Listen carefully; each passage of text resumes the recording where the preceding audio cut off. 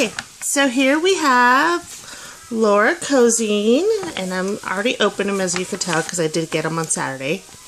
It says, thanks for allowing me to join the swap again. I loved the theme. Hope everyone likes the mixes I have made. I have included one for you. My two favorite ice cream flavors are watermelon and cotton candy. Love Laura, or thanks, Laura Cuisine. Sorry, tongue tied today. Okay, so here's her mixes. Pink cotton candy, and I'm to hurry because I hear Joseph moving the chair into the kitchen. That's not a good thing. Um, so here's her watermelon fresh. It's a really pretty mix. Thank you for including one for me, and I'm really sorry to rush this.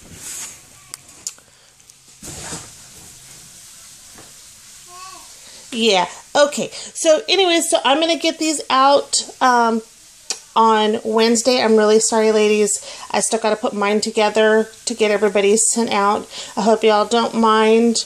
Um, if anybody has any issues or comments or questions or anything, just send me a message. Bye. Have a great night before my son goes and burns himself. Bye.